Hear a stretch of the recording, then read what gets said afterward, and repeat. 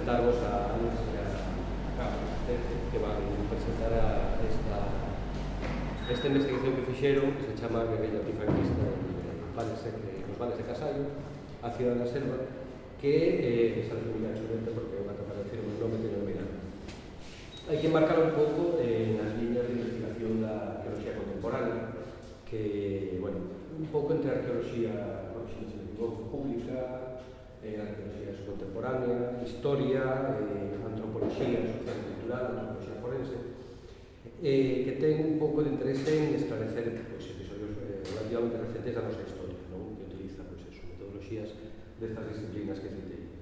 Eh, bueno, aquí se poden incluir traballos sobre a antropoloxía da guerra, a arqueoloxía da guerra, eh, as fábricas de tabacos, os cárceres, os campamentos dos maquis, como agora vos dirán os, os compañeiros, eh, que ten, claro, un componente tamén de, un certo modo, de revisitación, de escritura da historia, eh, así como un componente de reivindicación da memoria dos que estiveron ali en un nivel más.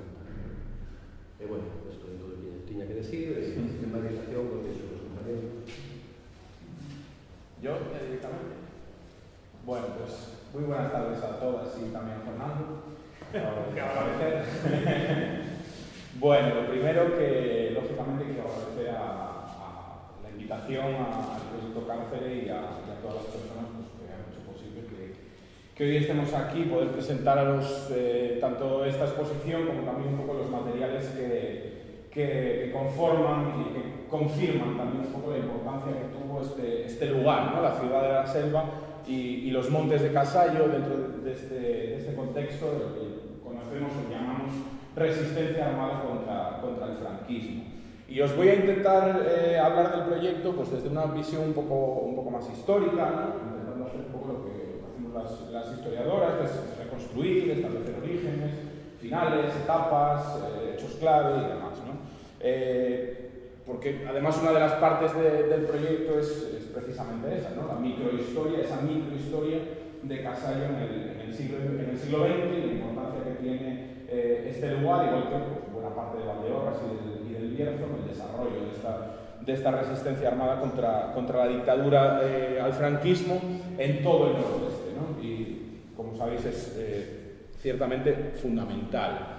Eh, lo primero que comentaros que ya desde los años 70 eh, se viene escribiendo y trabajando y debatiendo sobre, la importancia de, del movimiento guerrillero en el, en el noroeste, en el que pues, encontramos dentro de, de, estos estudios diversas etapas, eh, más o menos eh, desarrolladas, con propuestas que van pues, desde lo más ideológico, en los años 70 con, con, con Pons Prades o con Aguado Sánchez, hasta la etapa actual, ¿no? que, eh, que podríamos enmarcarla dentro de ese contexto de, de, de, recuperación de la memoria histórica y en la que ya vamos encontrando obras pues, un poco de todo tipo, ¿no? desde novelas, documentales, eh, libros de memorias, tesis doctorales, eh, larguísimo, larguísimo, etcétera. Pero bueno, tampoco quiero perder la, la, oportunidad para remarcar las dos obras que son estas dos que veis aquí, que considero más fundamentales dentro de este, de este desarrollo. Eh, las dos son de los años 80, eh, pero siguen siendo todavía hoy un referente dentro de, de estos estudios, ¿no? para los que estudiamos estos,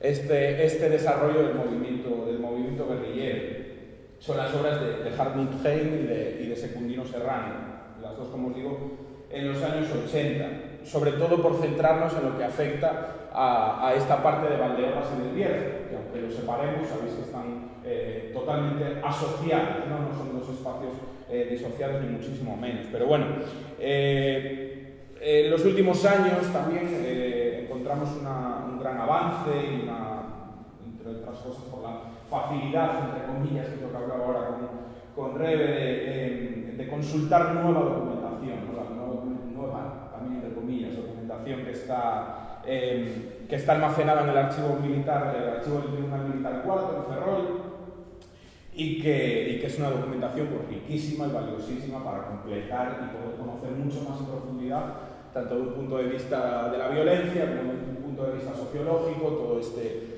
todo este desarrollo y todo este movimiento. ¿no? Pero bueno, eh, voy a pasar a hablar ya de lo que fue este desarrollo. Eh, voy a intentar hacer una pequeña aproximación a, este, a esta historia y me voy a centrar prácticamente en exclusiva en lo que es la importancia, como digo, de los montes de Casallo en toda esta historia, ¿no? que al fin y al cabo es donde, donde centramos nosotros este, este trabajo. Eh, como bien sabéis, el 18 de, julio del, año 36 eh, comienza un golpe de Estado militar y fascista contra el gobierno del Frente Popular que va a acabar por triunfar en buena parte de, del noroeste. ¿no? La práctica totalidad de Galicia, también el Bierzo, eh, acaba son, digamos, como zonas que más nos van a, a influir, quedan en manos de estos militares sublevados ya en torno al día 20 de julio del, del, 36 en, la, en su práctica totalidad. Y a partir de ese momento, a partir de ese triunfo del golpe de Estado, lo que, va a, lo que va a comenzar es un proceso violento, un proceso represivo contra todo aquello que tenía que ver con, eh, con el Estado, con ese Estado republicano que se, que se derrumba. Y esto eh, se, va a se, va a reproducir en todas las zonas de retaguardia, eh, de retaguardia sublevada. Este proceso de violencia lo que nos trae pues entre otras cosas, desapariciones forzadas, fusilamientos en las en las principales ciudades y va a ser la base, sobre todo, de ese miedo y de ese, y de ese silencio sobre el que se va a construir la propia, la propia dictadura. Hoy en día se sigue calculando en más de 114.000 personas desaparecidas en todo el Estado eh, y a los que habría que sumar eso, esas cientos de, de personas más fusiladas, eh, muertas en las, en las prisiones, eh, como, en la que, como en la que estamos, o dentro del propio eh, sistema penitenciario. El sistema penitenciario sabéis que no solo son esas prisiones, ¿no? muy cerquita de la ciudad de la Selva tenemos un, ejemplo inmejorable que fue el destacamento penal de, las minas de Valborraz, donde más de 300, 300 prisioneros republicanos trabajaron en, en las minas de Wolframio, en las minas de Wolframio controladas con capital alemán, con capital de la Alemania nazi. Y es, como insisto, ese proceso violento, ese miedo a ser asesinado, lo que va a llevar a cientos de personas a refugiarse, ¿no? a tener que escapar. Y hay varias vías dentro de este, dentro de este escape, pero sobre todo nos, eh, me voy a centrar en dos. Una es la, la evasión, la evasión a través de las montañas hacia la zona leal más próxima a, a, toda esta, a, toda esta, parte, que fue lógicamente Asturias. Asturias van a llegar eh, a partir de agosto del 36 eh, cientos de personas de Valdeorras y del Bierzo, también del resto de Galicia. Eh, pero bueno, la importancia que van a tener estas personas, de las que veis algunas subrayadas que son de, de, de esos concellos de, de Valdeorras, digamos, la importancia que van a tener estas personas va a venir un tiempo después, una vez que caiga el frente republicano. Otro proceso de fuga paralelo también a este, es mucho más práctico, eh, con, si, si, cabe con algo menos de riesgo, ¿no? hasta cierto punto, eh, fue el de escapar al norte, fue el de convertirse en huidos. Es en este punto donde comienza esta historia que nosotros estamos trabajando, ¿no? ese miedo que lleva a decenas de personas a escapar a las zonas próximas, más próximas sobre todo a su a sus casas y donde más o menos están pues, bien protegidas y su captura va a ser muy, muy difícil, muy complicada, ¿no? gracias, entre otras cosas, a las redes de apoyo que van estableciendo y que sobre todo están centradas en sus familiares, en sus amigos y en sus vecinos. En estos montes de Casallo, el primer grupo que encontramos eh, va a estar formado por personas de la zona del Bolo, de, de los concellos de, del Bolo fueron, pues, entre otras personas, el concejal del Ayuntamiento de la Veiga, Domingo Rodríguez, o Inca, Alfredo Rodríguez la Aguirre y varias personas más. Supuestamente este grupo estaba dirigido o estaba capitaneado por eh, Jaime Vega, el que apodaban el sargento, y eh, en este mismo también están dos vecinos de, de Casallo, Manuel Álvarez Méndez, apodado Odas Ovejas, y Adolfo Fernández.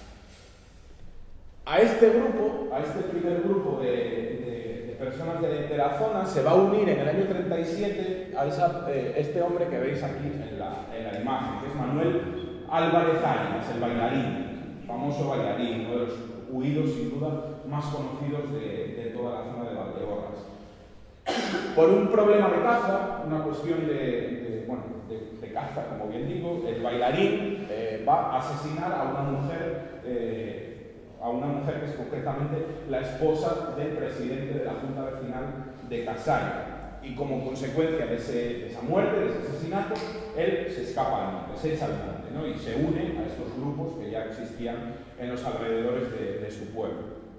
Este primer grupo va a subsistir, solamente eso, va a subsistir eh, y lo va a hacer pues, como buena parte de los grupos de, huidos que, en ese momento existen en buena parte de Galicia y en, buena parte del Bierzo, ¿no? bajo el poder que le dan las pocas armas de las que disponen.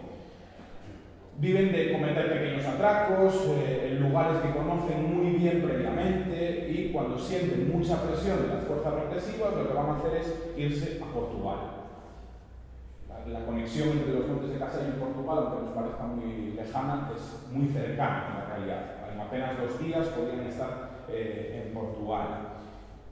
Y este primer grupo ya va a ser el que se va a instalar tanto en las Morteiras como en el Teixeral de Casallo, ¿no? en estos dos puntos en los que estuvimos trabajando el pasado, el pasado verano. Eh, y va a ser también este grupo pues, el que va a empezar a protagonizar algunas de las acciones violentas que más se conocen, que más se recuerdan dentro del pueblo de Casallo. ¿no? Por ejemplo, en enero del 39 eh, matan a un guardia civil, a Felicino a Meixeiras, en, en, la casa de la familia Valle. La familia Valle, Celia Valle era la esposa del bailarín, casa es donde, donde matan a esta, a esta persona. Y esto lo que va a provocar es que el grupo se vaya nuevamente a Portugal y se va a incorporar a ese, a ese grupo varios miembros de la familia, ¿no? entre ellas pues, como, eh, Manuela, eh, Manuela Valle, cuñada de, del bailarín, Remedios Álvarez Valle y también Celia.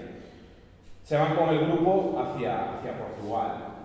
Algunos meses más tarde, ya han regresado, en, junio de ese mismo año 39, eh, en este caso la Guardia Civil va a matar a uno de los huidos, ¿no? a Jaime Vega, y también va a detener a Manuela Valle, la hermana de Celia, y a Manuel Álvarez eh, Odas Manuel Álvarez, no Manuel Álvarez Arias Bailarín. Pero esa relativa tranquilidad con la, que, viven estos grupos pues va a empezar a cambiar antes de todo esto, ya a finales del año 37. Y esto enlaza un poco con lo que os empezaba a contar antes, ¿no? Con el retorno de esos primeros grupos que habían llegado a Asturias y que una vez que cae el frente retornan nuevamente a sus, a sus domicilios, a las zonas más próximas a sus domicilios. En este caso, eh, eh, va a estar eh, el grupo, uno de los grupos que regresan va a estar encabezado, digamos, por, Manuel Girón Bazán, pero de este grupo también formaba parte Manuel Blanco Pascual, que es el que veis en la, en la imagen, que era un fotógrafo y también concejal del Ayuntamiento del, de Valdeorras, uno de los personajes sin duda más conocidos en, en, Valdeorras a lo largo de los años 30, su, gran intelectualidad que destacaba muy por encima del resto de, la sociedad. Este primer grupo, o este segundo grupo ya, se va a establecer en la comarca de la Cabrera, que está en la zona, eh, muy, es una zona pegada con, Galicia, pero van a tener, vamos a encontrar ya una enorme movilidad de este, de este grupo. Y va a empezar a mantener contactos muy frecuentes con, eh, con otros grupos de huidos que existían en esa misma zona, ¿no? en Vilar de Silva, en Rubiá, en Oencia, en Carucedo, también comienzan a tener contactos muy, muy directos con este grupo de Casallo. Es más, ya se establece, ya establecen una primera base, eh, una primera base en, en, este, en este lugar. Concretamente establecen esa base en lo que se conoce como la ermita de San Gilbert. Pero este cambio todavía se va a ver más reforzado unos meses después, tiempo después, en el invierno del año 39-40.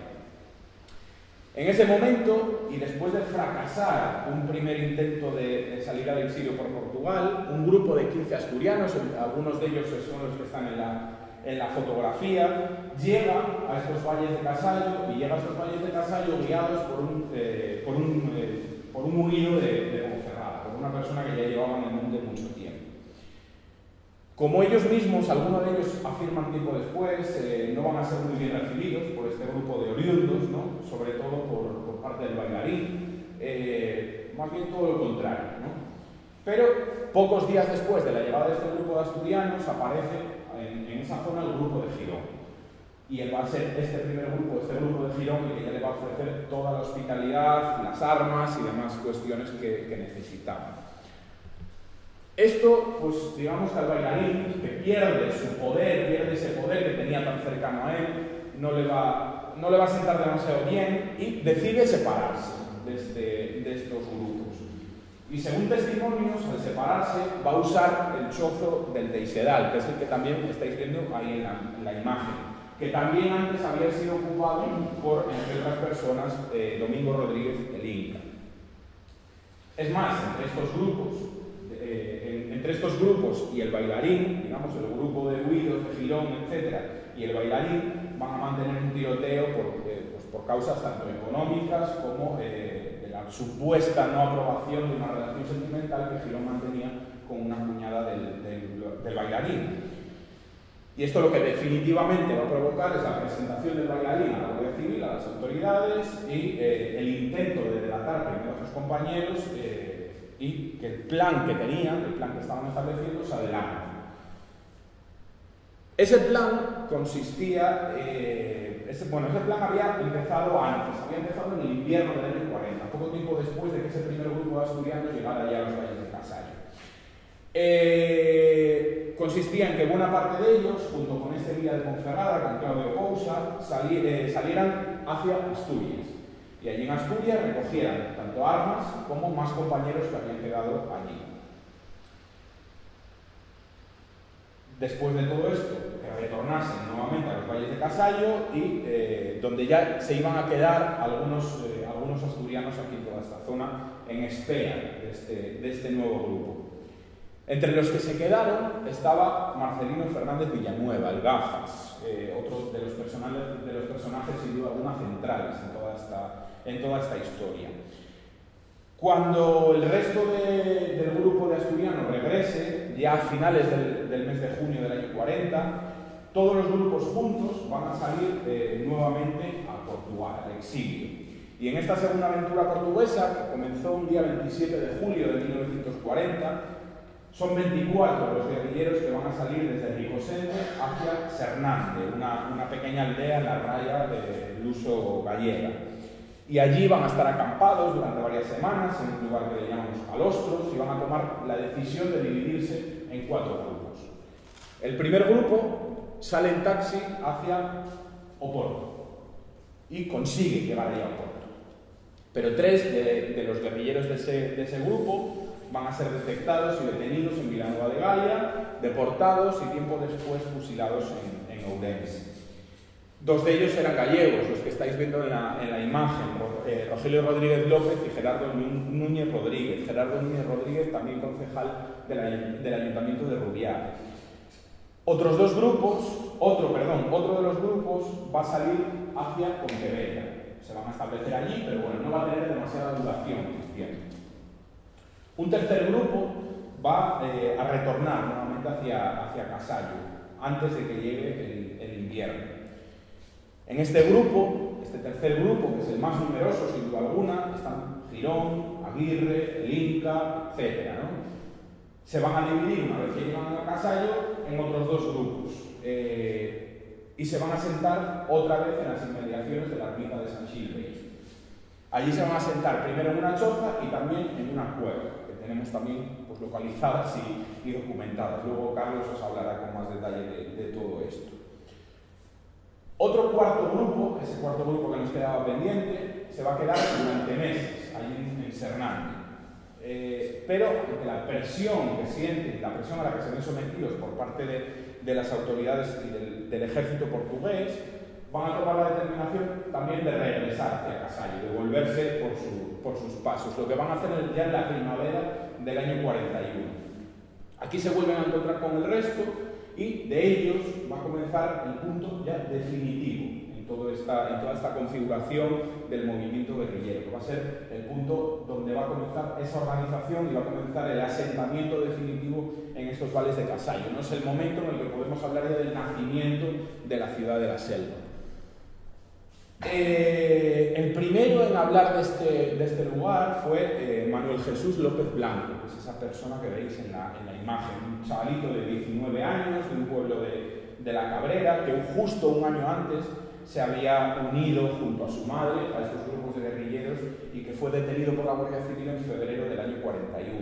Es él, como veis ahí, el, bueno, como intuís, me imagino, el que habla de estos campamentos en las inmediaciones de, de San Gil Eh, también va a haber un enlace de Casallo, eh, Contemplación Álvarez Carrera, familiar también de Manuela, de Manuela y de Celia Valle. Va a ser ella la que reconoce que en ese lugar de Morteira se encuentra con los guerrilleros y que además les facilita huevos y tabaco, etc. Pero bueno, de ese segundo retorno, como decía, va a nacer va a suponer ese paso definitivo, ¿no? el fin de los huidos y el paso definitivamente a guerrilleros. Y será en ese invierno, en ese mismo invierno del año 41. Lo que voy a hacer es leer una pequeña parte de las memorias de uno de esos guerrilleros, de Mario Morán, que la podéis ir siguiendo también en la, en la presentación. Dice que la otra parte del grupo, conducida por Girón y Parra, se van directamente a Castro Hinojo con el propósito de preparar 10 caballos bien cargados de alimentos como arroz, garbanzos, alubias, chocolate y conservas, así como tabaco, para transportarlos a los valles de Casallo, la conocida por nosotros como Ciudad de la Selva, donde el resto de los compañeros nos abocamos a la tarea de construir un amplio y cómodo campamento entre el tupido bosque, para el cobijo del numeroso grupo de Girón y visitantes que cayésemos por allí. No lejos de allí estaba el campamento del grupo del Inca. Recordáis que os había dicho que una vez que llegan, retornan a los montes de Casallo y se separan otra vez en dos grupos.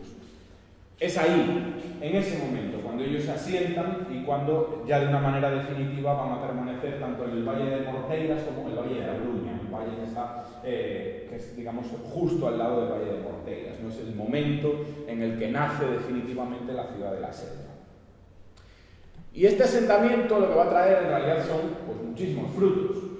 Primero, porque ya en diciembre del año 41 eh, estos guerrilleros van a firmar los primeros estatutos de la organización a la que van a empezar a llamar Federación de Guerrillas Populares, pero que eh, ya a los pocos meses va a pasar a la historia definitivamente con el nombre que todos la conocemos hoy en día, que es el de Federación de Guerrillas de León Galicia.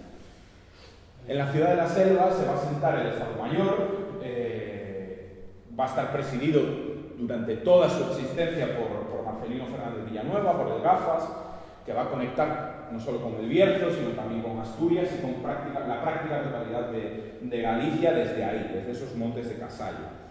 Esta organización, desde su nacimiento hasta más o menos el año 45, va a ir en un, en un aumento constante. Aquí van a venir delegados del Partido Comunista, delegados del Partido Socialista y de sus dos organizaciones satélites, como fueron Unión Nacional y Alianza, de Fuerzas, eh, Alianza Nacional de Fuerzas Democráticas y un larguísimo etcétera.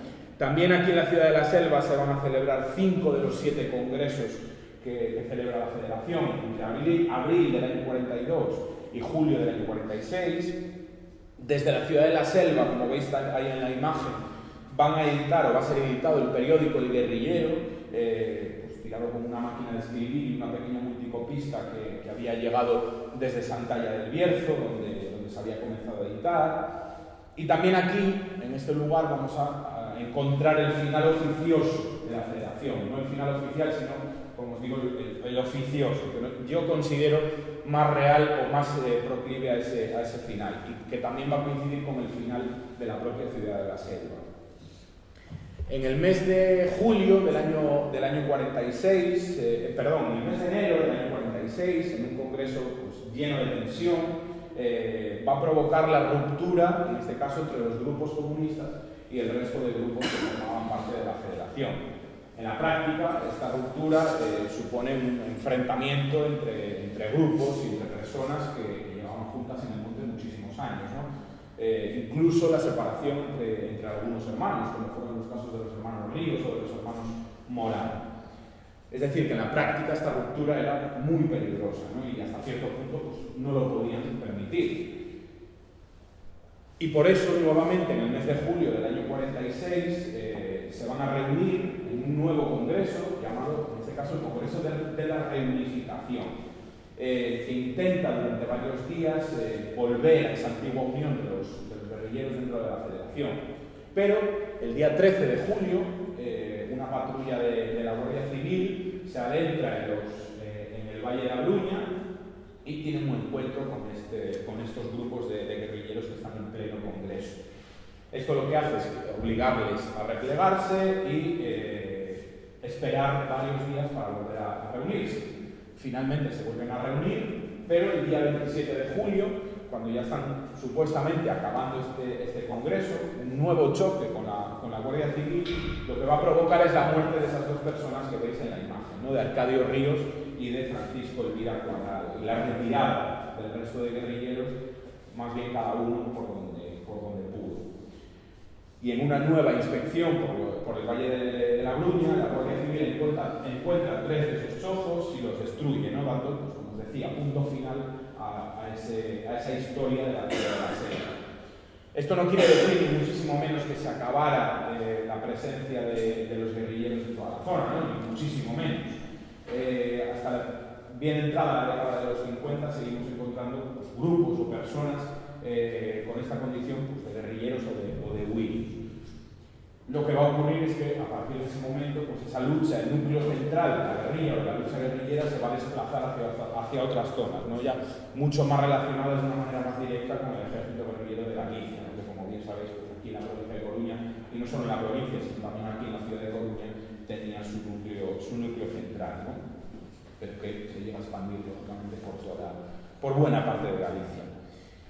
Y bueno, si queréis luego ya en el debate eh, podemos hablar de esas diferencias entre, entre, unos grupos y otros, de sus asentamientos, etc. ¿no? Pero eh, ya os dejo ahora con, Carlos, que, nos va a hablar de, la verdadera dimensión del, proyecto y de toda, esa parte arqueológica. Y nada más, gracias.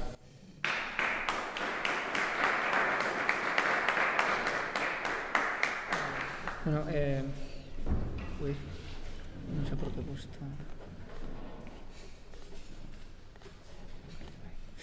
Eh, bueno, en primer lugar me quería sumar a los agradecimientos que, hizo Alejandro antes al proyecto Cárcel. La verdad es que también agradecer que en un día tan frío, además compitiendo con el concierto de Rosendo, pues estamos aquí.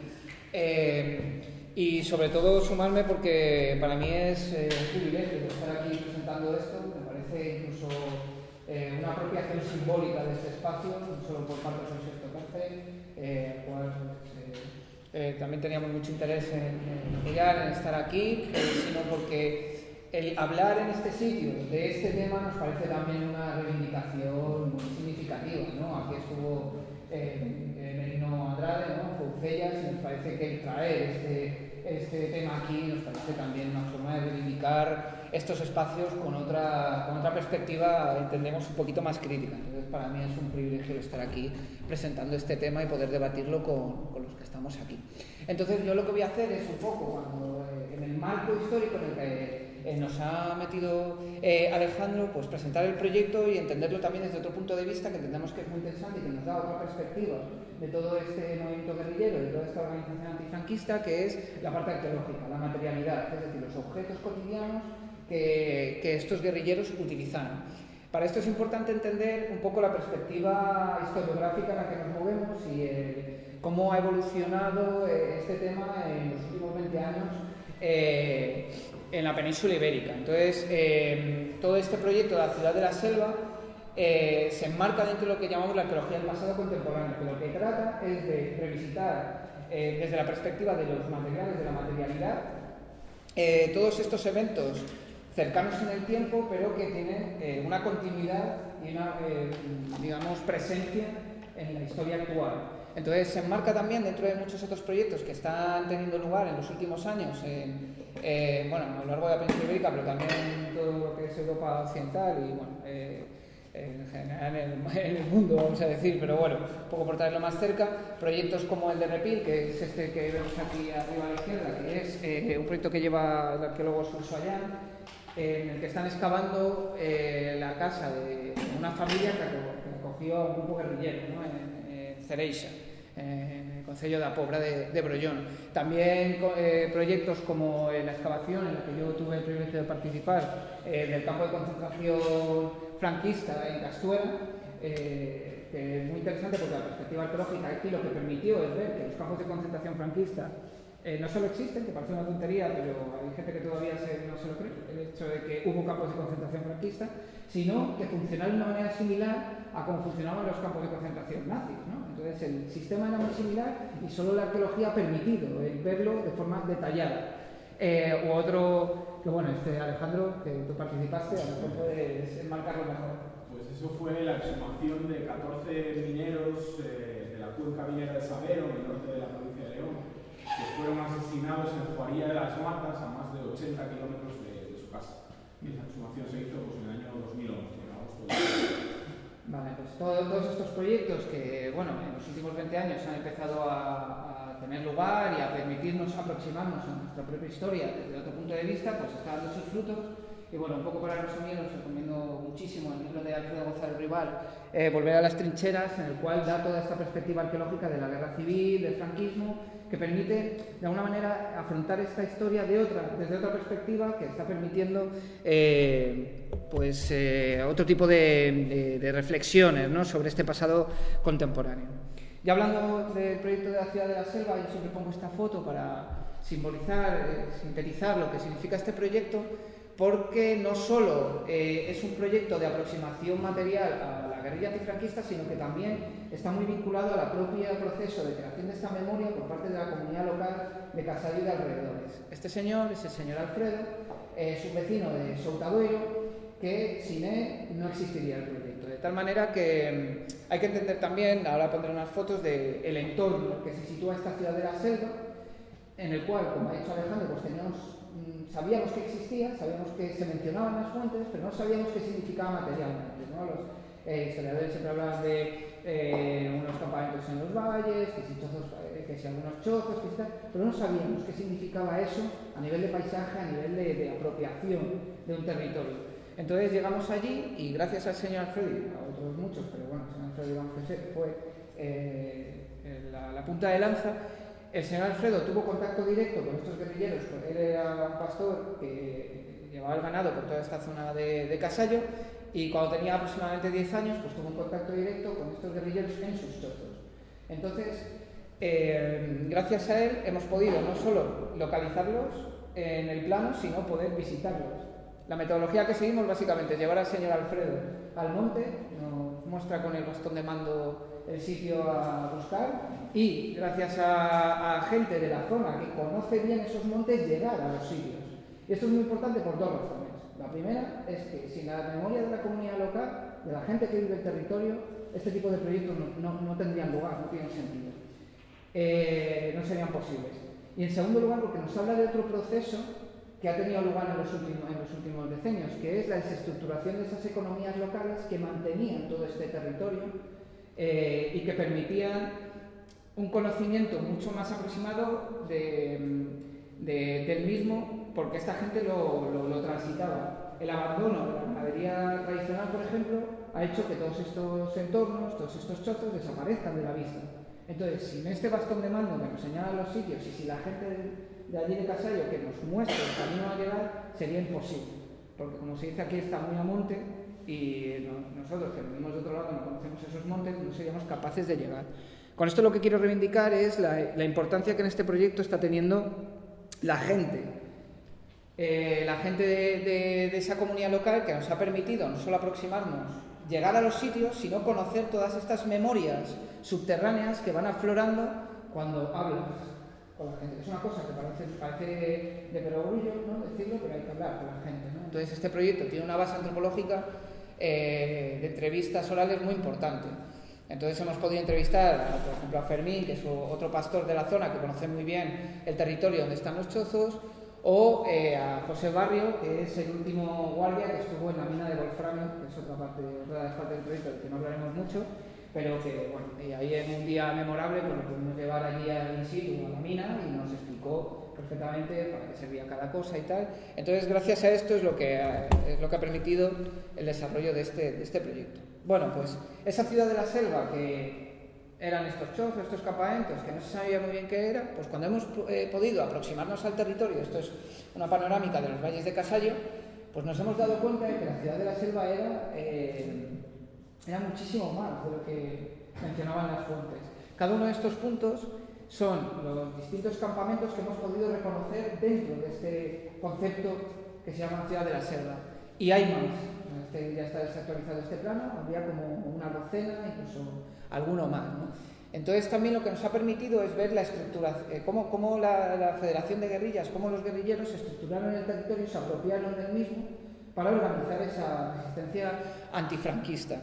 Y bueno, eh, una vez pudimos hacer esta primera aproximación de situar en el plano estos distintos campamentos, pues eh, eh, decidimos que lo mejor era intervenir en algunos de ellos arqueológicamente para ver qué, qué, era lo que nos decían, qué era lo que nos podía informar acerca de, esta, de este movimiento guerrillero. Entonces decidimos actuar en As Morteiras, en este, en este valle de, de Morteiras, que, como ha dicho Alejandro, en la documentación ya aparecía reflejado que aquí había una una presencia importante de guerrilleros y el famoso Taixadal de, de Casallo, donde bueno, se contaba que habían estado guerrilleros bastante conocidos como Bailarí, como el Inca, y bueno, es un chozo bastante conocido porque hay una ruta de senderismo que pasa cerca, entonces bueno, era bastante reconocido y nos parecía interesante intervenir en, en él. Entonces, bueno, un poco también decir que la logística ha sido muy compleja precisamente por esa desestructuración de las economías tradicionales, estos caminos ya no se utilizan, con lo cual, sin la ayuda en este caso de la comunidad de Montes de Casallo, que ha sido fundamental en este proyecto, en términos tanto logísticos como personales, pues nos limpiaron los caminos y pudimos llegar. Y bueno, dado que están bastante alejados, por una razón tan sencilla como que los campamentos de los guerrilleros tenían que estar alejados, eh, invisibilizados, vamos aquí en el paisaje, pues bueno, teníamos que caminar como cerca de dos horas para llegar a ellos, o sea, toda una, toda una logística bastante, bastante compleja, pero bueno, pudimos llegar y la verdad es que, la verdad es que los resultados fueron espectaculares. Bueno, esto como ya comentaba Alejandro, eh, no entraré. Este es el Valle de Morteiras, aquí podemos ver lo que es el, el propio valle, este es un peñón que eh, emerge en el centro y los chozos estarían, bueno, tenemos localizados varios chozos a lo largo del peñón, pero bueno, los que excavamos, la zona central estaría en esa parte, eh, eh, en esa parte de, del valle, al otro lado del, del peñón. Y los, digamos la parte central de, este, de esta zona pues, se correspondería a cuatro chozos, a lo largo de unos 100 metros, a lo largo de unos 100 metros con el, con el río, con un arroyo corriendo por el medio, y bueno, decidimos excavar este que llamamos Morteiras 1 y este mm, que se llama Morteiras, Morteiras 4. Llamamos así. Este es Morteiras 1, que es uno de los mejor conservados, con una puerta de entrada, con eh, una, una, parte trasera que abre, o sea, que se, eh, se mete en un saliente de la roca, en un pequeño abrigo. Esta es la reconstrucción planimétrica, el plano de, del chozo, aquí estaría la puerta de entrada, aquí habría una pequeña ventana, que es esta, pequeño acceso a un espacio bastante reducido que pensamos que podía ser una fresquera o, bueno, algunos de nosotros creemos que podía ser un gallinero, pero bueno, aquí tenemos una discusión también bastante, bastante densa. Y eh, al excavar, pues eh, excavamos todo el derrumbe, todo lo que, toda la estratigrafía y eh, dimos con este suelo de, de Lousa con un poste central que se ve aquí, entonces bueno, tenemos que este chozo tenía este poste central con un tejado a un agua hecho de, de lousas de, de, bastante, de, de gran tamaño. ¿no? Y bueno, lo que dio lugar es a un montón de material, que es el que está expuesto, la mayoría del material que está expuesto allí fuera salió en este chozo y eh, pensamos como hipótesis que podía ser un almacén una zona de almacén, pero en el cual, eh, en el cual también se realizaban otras funciones como eh, este, el cuidado de animales, porque todos los huesos que hay ahí fuera, eh, que son la mayoría, de, comentaré, de cabra y de oveja, pensamos que, estos, que los guerrilleros tenían aquí a, los animales, a las cabras y a las ovejas, que gracias a las entrevistas también sabemos eh, que ellos los compraban a, a los eh, habitantes de la zona y que eh, también los eh, robaban de, bueno, también los, hay, bueno, hay algunos que dicen que los cogían, que si los pagaban de las, las meiriñas que iban por ahí, ¿no? la ruta de las meiriñas de las merinas que iba por Casallo y bueno, pues lo que pensamos es que los tenían aquí y que los criaban aquí. En cualquier caso, en este chozo hemos encontrado un montón de, de objetos relacionados con la balística, relacionados con, con, el textil, por ejemplo, con la ropa, por ejemplo, este calzado, esta, esta sola de zapato que tenemos fuera, que luego comentaré un poco más despacio. Lo que es interesante también comentar aquí, y que también pasa en, este, en el otro, que es este de Morteiras 4, es que encontramos un nivel de incendio. Como ha dicho Alejandro, el 27 de julio del 46, eh, el último ataque de la Guardia Civil, pensamos en ese ataque, abandonaron estos chozos y también sabemos por referencias orales que la costumbre de la Guardia Civil era llegar a los chozos, digamos, eh, llevarse todo lo que era útil y lo que no, dejarlo allí y quemar los chozos. Digamos, una especie de damnatio memoria, intentar invisibilizar de forma total la, lucha guerrillera, incluso quemando los chozos que ocupaban. Eso que ha permitido que, que conservemos tantísimo material. Luego fuera podemos ver que no solo la balita, las balas, los casquillos de escopeta están reventados, eso significa que han estado sometidos a mucho a, fuego, sino que, por ejemplo, el saco que tenemos ahí fuera, donde pensamos que dormían, también está quemado. Entonces eso lo que nos demuestra es que hubo un incendio en estos chozos después de abandonarlos.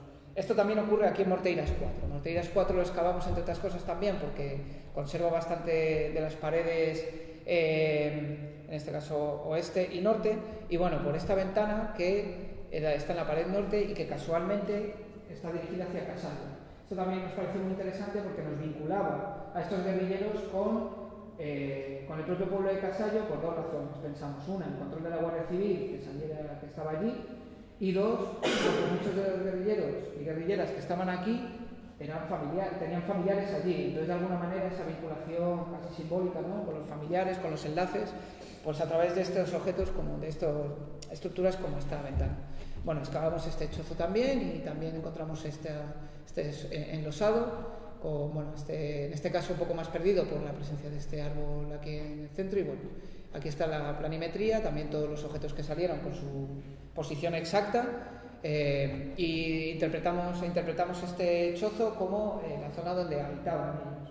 Porque aquí encontramos, por ejemplo, el saco, encontramos también la botella de, de anís, que bueno, que no todo va a ser, ser guerrillero, sino de cuando descansar y, tomarse un poco de anís, en este caso la asturiana, que tuvimos un debate bastante fuerte si era asturiana o del mono, pero al final quedó que era de la asturiana. De la asturiana. que todavía alguno duda. Bueno, y el otro sitio que excavamos, este, el Taisedal, que bueno, es un paisaje único, si no, habéis estado, por favor, ir a verlo porque eh, es, un entorno muy, muy, muy único. Y ahí es donde excavamos este famoso chozo, que es el que puso también la imagen antes Alejandro. Y aquí, bueno, eh, encontramos una, diferencias con, con, los otros, que tienen su explicación.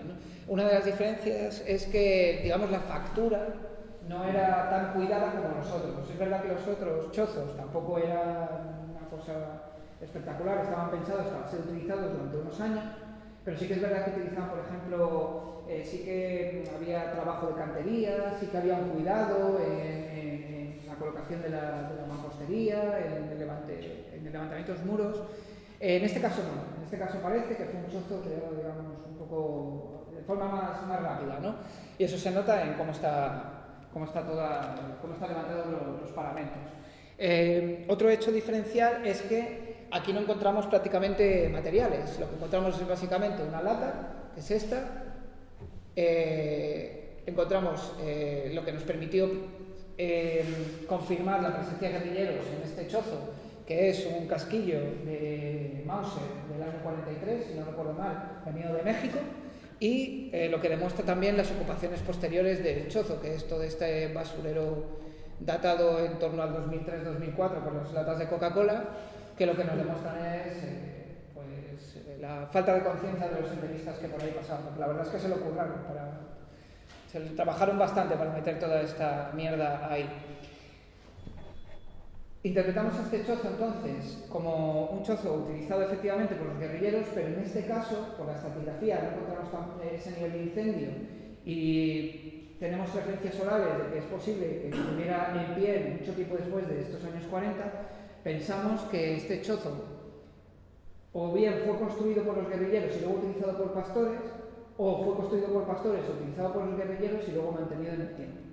En cualquier caso, sabemos que aquí hubo actividad guerrillera por este, por este casquillo, por este casquillo de, de Bueno, el siguiente proceso, una vez excavamos, fue hacer todo el inventariado, todo el trabajo arqueológico, que bueno, en este caso fue fundamental el hacerlo en el, en el propio pueblo de Casallo, porque muchos de los materiales que no sabíamos qué eran, era la propia gente la que nos decía lo que era, que es también una cosa muy sencilla, pero que a veces no hacemos, que es hablar con la gente que utilizó esos propios objetos. Entonces, como veremos ahí hay un paraguas, eh, pues no teníamos ni idea de que era un paraguas hasta que alguien lo vio y dijo, ah, esto va a ser un paraguas. Y efectivamente. Y esto nos permitió completar muchísimo la información, el, hablar con la, con la gente del. Entonces, ahora brevemente lo que os voy a dar es unas pequeñas pinceladas de los primeros resultados. Y luego, si queréis, eh, podemos verlos allí y hacer, bueno, si tenéis alguna pregunta o lo que sea, pues los vemos ahí, que para eso los tenemos, que nos parece también muy interesante poder tocarlos y poder verlos. ¿no? Bueno, primero hablar un poco del armamento. Eh, fue muy interesante eh, todo el armamento que encontramos. La verdad es que eh, recogimos unas, unas, 50 elementos de, de, bueno, de, armamento que podemos dividir básicamente en balas, en balas y cartuchos de Mauser. la mayoría del Mauser llamado español, el fusil Oviedo 1916, que es el que se llama, pero también una versión un poco más moderna eh, que lo que nos habla es que esta, los que estuvieron ocupando los chozos en Morteira, sobre todo, tenían el armamento más moderno de la época, gracias a la presencia de, esta, de, este, de este, tipo de armamento. También encontramos 9 milímetros de pistola eh, y cartuchos de escopeta. Lo que, es muy, lo que es más interesante, lo que nos ha llamado más la atención del estudio del armamento, es que la, es la procedencia de los casquillos. Eh, los casquillos luego lo veremos, para que no los, haya visto, detrás tiene unas, unas marcas, de, fábrica que nos permite saber de dónde provienen. Bueno, pues eh, el estudio nos dice que hay armamento procedente, casquillos de bala procedentes de Grecia, de Holanda, del Reino Unido, de México eh, y me olvido, me olvido de otro. Ah, de la República Checa. ¿Qué nos quiere decir esto?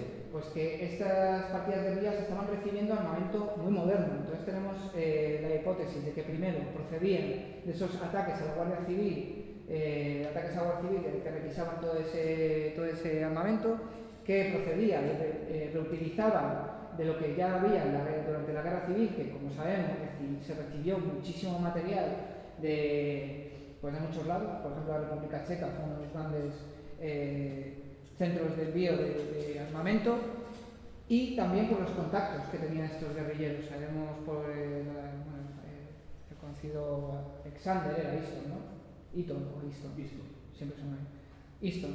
Bueno, pues eh, era un inglés que estaba en esta zona que eh, era uno de los enlaces que, que, conectaba, informaba y llevaba material desde, en este caso, pues de las potencias aliadas a, estos, era, digamos, e, e, ese enlace ¿no? entre las potencias aliadas y estos movimientos de, guerrilleros. Entonces eso lo que nos, lo que nos habla es de una organización eh, fuertemente asentada y fuertemente organizada. Luego otro elemento que nos ha, material que nos ha llamado mucho la atención es la presencia de muchos elementos de higiene personal. La verdad es que esto, bueno, lo, eh, digo por mi, eh, por mi, mi, propia experiencia personal, cuando yo pensaba en los guerrilleros tenía esta imagen casi romántica, ¿no? Del guerrillero contra la naturaleza, en el monte, luchando contra los elementos y sucio. No sé por qué tenía esa imagen del guerrillero sucio. Bueno, pues lo que hemos visto es que hay muchos elementos de higiene tenían también una organización personal e individual eh, a nivel de higiene muy importante. Entonces hemos encontrado no solo eh, crema, eh, cremas de manos como aquella de Perbolol o esta, no la tengo aquí, bueno, ¿cómo, no la tengo aquí? Esta, la crema de manos Nievina, que era una marca muy conocida en los años 40, además muy vinculada con la, con la representación de la mujer, como ahora, como ahora veremos. y también encontramos pasta de dientes, eh, y bueno, algunos objetos también como estas tijeras de, de peluquero para higiene personal y, y, tal. Entonces, bueno, eh, nos llamó eso mucho la atención, la presencia de tantos elementos de higiene en un contexto en el que no nos esperaríamos, ¿no? Este cuidado de, de la higiene personal eh, e individual. Y como digo, también hemos podido acceder, o pensamos que podemos acercarnos también a la presencia de la mujer en estas partidas guerrilleras. Gracias a libros como el de Aurora Marco, pues tenemos constancia documental, personal, etnográfica antropológica de entrevistas personales de eh, la presencia fundamental de mujeres eh, en las partidas guerrilleras. Bueno, pues creemos que elementos como la nievina, eh, que están, por el estudio que hemos hecho de la publicidad de la época, muy vinculadas a la identidad femenina, y también algunas referencias cruzadas indirectas, como puede ser la localización de chozos de las que nos habló, de, los que nos habla eh, en este caso Chelo, que fue una, una, guerrillera que estuvo allí en los Montes de Casallo, en una entrevista que le hicieron por un documental, ella decía, pues no quería ir al chozo del Inca porque eh, me daba miedo, porque estaba en un cortado de la roca y la puerta daba directamente hacia abajo, hacia una caída muy peligrosa. Y me daba mucho miedo ir allí. Y efectivamente, pateando como quien dice en los montes de Casallo, allí en la zona de Morteiras, encontramos un chozo que efectivamente estaba en un saliente de la roca con la puerta hacia una caída que, la verdad es que daba bastante respeto. Entonces, bueno, este, este tipo de referencias también nos vinculan a esa presencia de la mujer en estas partidas eh, guerrilleras. Y también otro aspecto de acción es eh, la presencia de objetos referidos a, la salud y al cuidado, ya, al cuidado de, de, las enfermedades.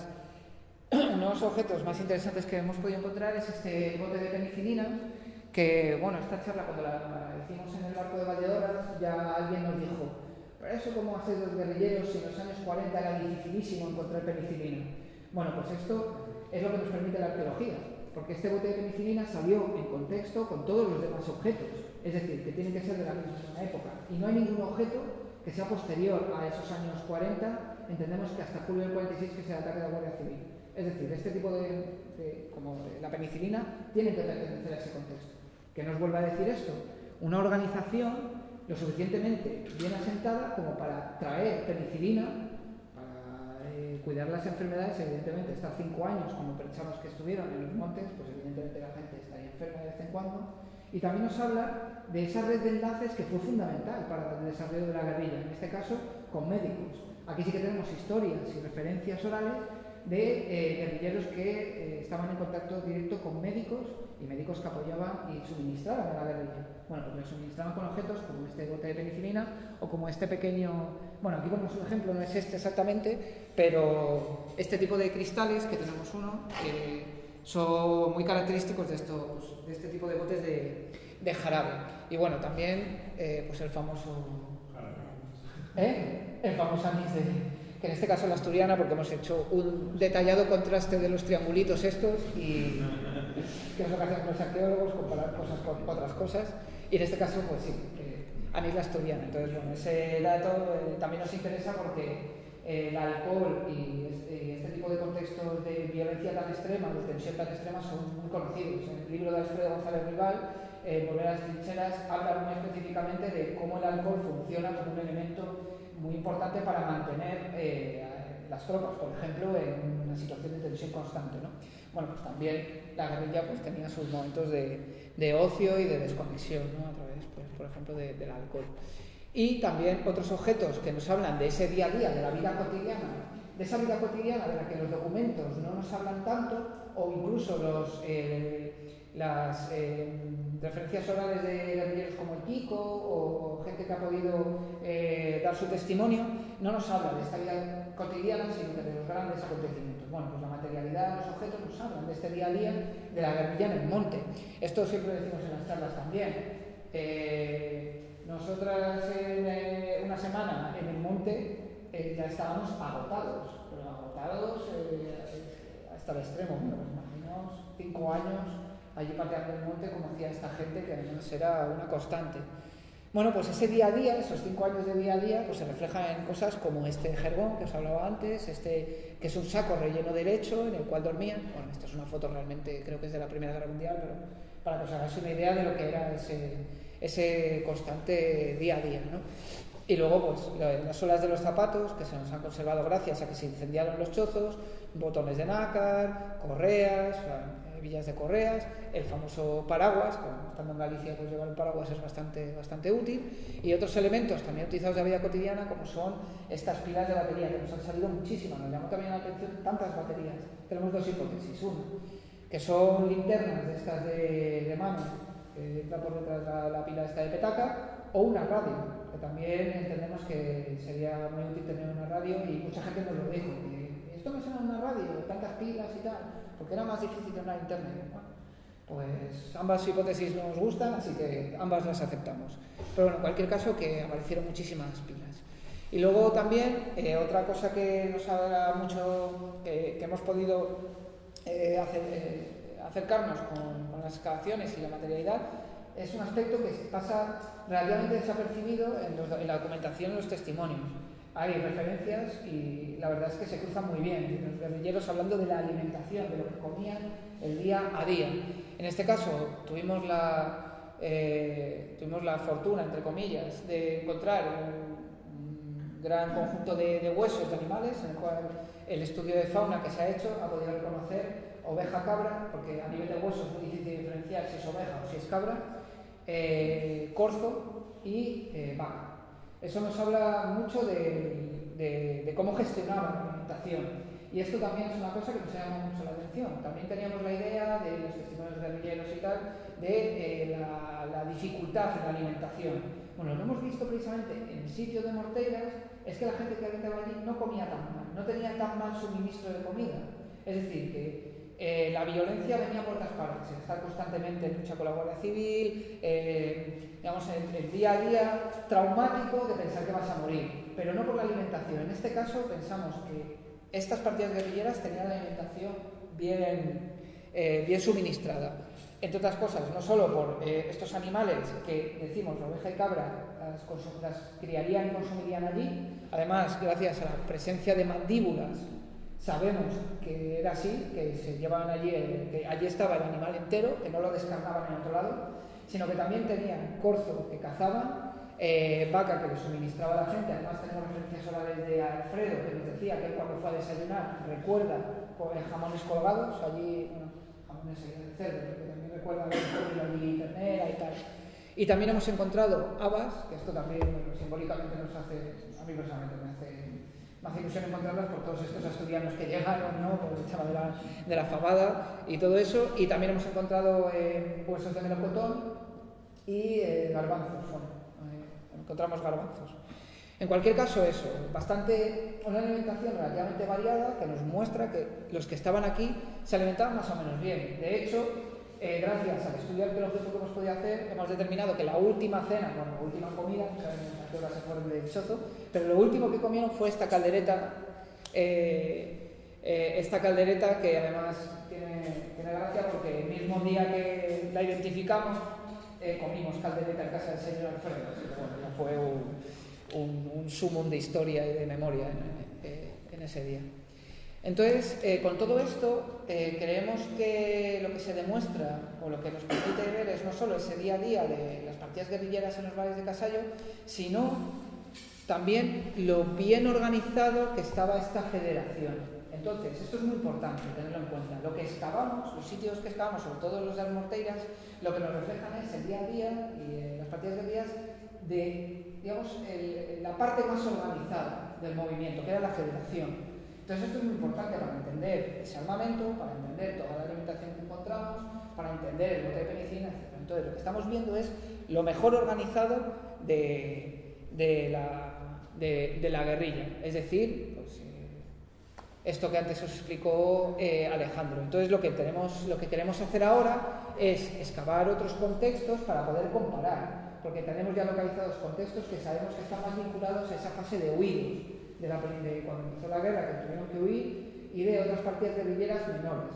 Creemos que excavando esto y comparándolo nos va a dar mucha información de estas diferentes formas de entender el movimiento guerrillero que no eran exactamente las mismas. Y bueno, eh, un poco por explicar el futuro de lo que queremos hacer, por otro lado, vamos a seguir con las entrevistas y toda la recopilación de memoria que ya tenemos un montón y que también tenemos que empezar a gestionar, pero claro, es que esto es lo de siempre, entrevistas a uno, te salen 10 y claro, la memoria también es algo que, que, que, es también urgente, ¿no? Esto es importante, porque mucha de la gente que estamos entrevistando, por ejemplo, Fe Rodríguez, que fue la última, fue cantinera, no la última, fue cantinera de las minas de Wolfram, las minas de Valborraz, pues bueno, eh, digamos que no nos queda mucho tiempo para recoger esos testimonios de gente que, quiere hablar y que quiere darlos. Entonces, eh, creemos que también es un trabajo urgente. Tenemos el proyecto de, que, de restaurar y consolidar estos chozos y crear rutas de senderismo de tal manera que esta memoria no se pierda otra vez, no, se olvide, sino que se pueda volver a recuperar de forma activa, ¿no? de la gente yendo a los sitios y entendiendo el paisaje, viéndolo in situ. Y otra cosa paralela que van saliendo, pues esto lo hicimos el otro día, como que dice, De hecho, voy vestido igual que. Sea, me ha tiempo, que fue en la, en, la, prisión del partido judicial del barco, nos llegó la información de que allí había enterrado una persona que en, en una huida en los años 40, no me acuerdo si era 41 o 46, algo así, en los años 40 huyeron tres personas, que se asesinó a alguien que estaba ya enterrado. Bueno, pues nos avisaron, fuimos allí, bueno, la exhumación fue negativa, lo encontramos eh, nada, pero lo que sí que nos permitió es entender también eh, contextos de represión, como es la prisión del Partido Judicial del Barco de Valdeorras, en el que un último estudio arqueológico que estamos ya llevando a cabo nos ha permitido ver que el edificio tiene un interés muy grande, una historia muy interesante, y también lanzó la, lanzó la, la bomba la idea de que este contexto también sería muy interesante poder hacer este tipo de trabajos porque nos da muchísima información sobre cómo se gestionó la violencia y la represión en un momento muy traumático de, nuestra historia. Y esto es un poco el último punto que quería lanzar eh, aquí al debate, a los comentarios, vamos a ver los objetos si queréis, que es la importancia de todo de, este trabajo eh, a nivel de, la memoria y de repensarnos como sociedad. ¿no? En ese libro, Alfredo González Rival dice que dependiendo de cómo gestionemos los restos arqueológicos, la materialidad, la vida cotidiana de estos tiempos, podremos contribuir a fomentar una cultura democrática, la amnesia histórica o a la tolerancia a las dictaduras.